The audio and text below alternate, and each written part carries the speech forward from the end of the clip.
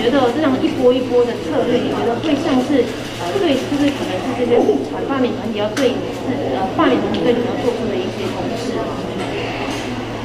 台湾政治环境啊，我记得李登辉在演讲的时候，还有个学生举手问他，总统什么是政治？那李登辉总统他就讲说，吞一口脏水，吐一口清水，你一口气把脏水喝完，啊，你人可能会承受不住，但你不喝，社会不会变好。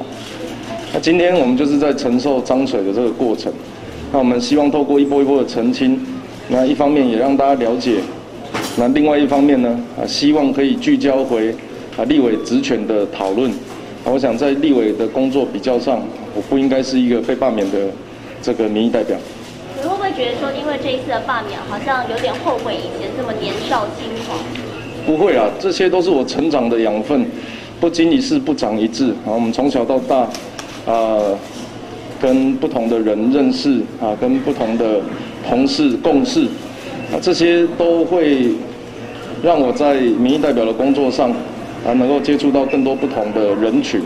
我想，民意代表这选举就是他能够代表最多数的人，不是这个只代表少数的呃精英嘛。